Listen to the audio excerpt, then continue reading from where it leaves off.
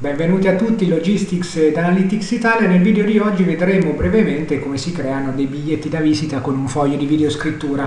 Noi utilizziamo LibreOffice Writer e lo strumento che viene definito testo automatico, in particolare sono i modelli di documento di Microsoft Office Word, praticamente la meccanicistica è assolutamente la stessa. Allora facciamo così, mettiamo subito l'allineamento del paragrafo al centro, facciamo un invio, vedete che noi utilizziamo questo strumento qua, il pi greco, che è eh, uno strumento che indica i confini del paragrafo. Andiamo nel menu strumenti, facciamo testo automatico e fra i vari modelli di documenti, vedete ci sono i biglietti da visita, eh, i documenti standard, eccetera, noi scegliamo per esempio il classico, perché è quello che utilizzo sempre e mi sembra quello fatto meglio. Clicchiamo subito inserisci.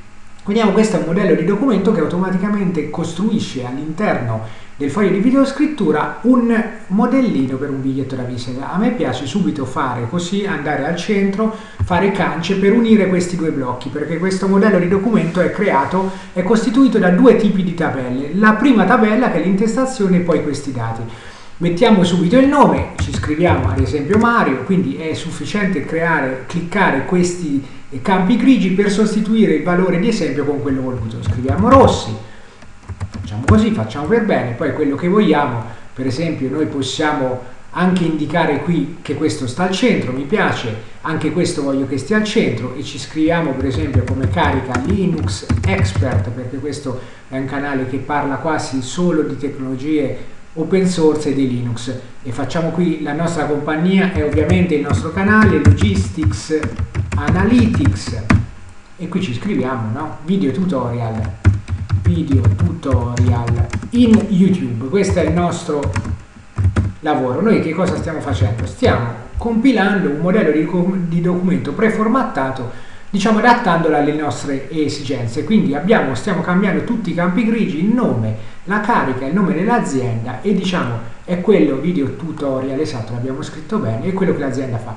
Di solito mi piace prendere questo, questa serie di celle, fare tasto destro, unisci celle e poi andare nel menu formato e cercare la voce allineamento e allinearlo sia al centro dal punto di vista verticale sia al centro per esempio che dal punto di vista orizzontale e mi, mi piace qui inserire un'immagine del bigliettino da visita. Quindi andiamo in inserisci immagine e scegliamo siccome c'è una compagnia che si, si occupa di Linux scegliamo il solito pinguino. Vedete che l'immagine può essere inserita all'interno di una cella di una tabella in pratica questo biglietto da visita non è altro che una tabella si formano le maniglie blu si prende la maniglia e si riduce l'immagine e vedete che viene ricollocata correttamente al centro allora che cosa facciamo? Lasciamo restare tutti questi dati, abbiamo capito che è sufficiente cliccare nei campi di testo grigio e poi cambiarli, quindi si, si adatta l'email, il numero di telefono e l'indirizzo, ma adesso noi che cosa vogliamo fare? Vogliamo risparmiare un po' di carta, cioè all'interno del formato A4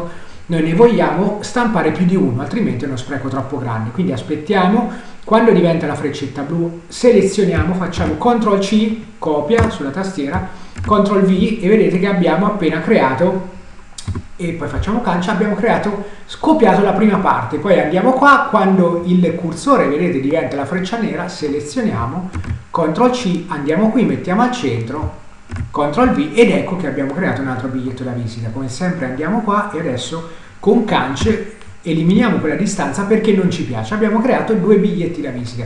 Con, continuiamo velocemente, selezioniamo quando la freccettina diventa nera, e poi facciamo CTRL C, CTRL V, che sarebbe no? copia e incolla, prendiamo la seconda parte della tabella, quando la freccettina è nera, CTRL C, andiamo qui, mettiamo il cursore al centro, CTRL V, copia e incolla e qui eliminiamo un'altra volta, ne abbiamo fatti tre, vediamo quanti ce ne entrano, continuiamo ancora, selezioniamo, CTRL C, andiamo qui, invio al centro, è un pochino meccanico ma dopo che l'abbiamo fatto una volta noi salviamo il documento e quindi avremo i nostri biglietti da visita pronti. Quando la freccina diventa nera, CTRL C copia, andiamo al centro, CTRL V incolla e cancelliamo lo spazio, vediamo se ce ne entra un altro, proviamoci, andiamo a capo, facciamo così, mettiamo al centro, allineiamo, ancora una volta vedete il cursore ha la forma della I, Andiamo qui, si trasforma in nero, riproviamoci che ci ha fatto un salto, si trasforma in freccia nera, selezioniamo, CTRL C, questo serve per selezionare più celle all'interno di una tabella,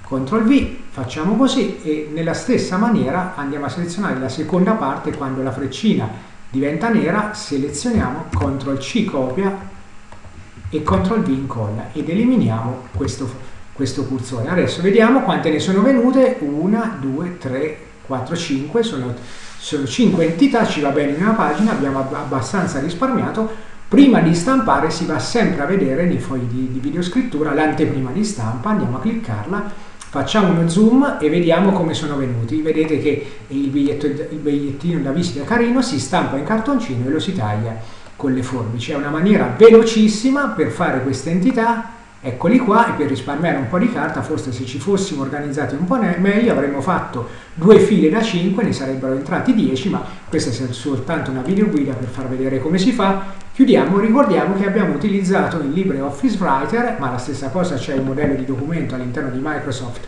Office Word, lo strumento per esempio che si chiama Testo automatico, in particolare all'interno del settore biglietti da visita, abbiamo usato il classico con nome. Allora, il video finisce qui, grazie a tutti per averlo visto fino alla fine, spero vi sia stato utile al prossimo video di Logistics ed Analytics Italia.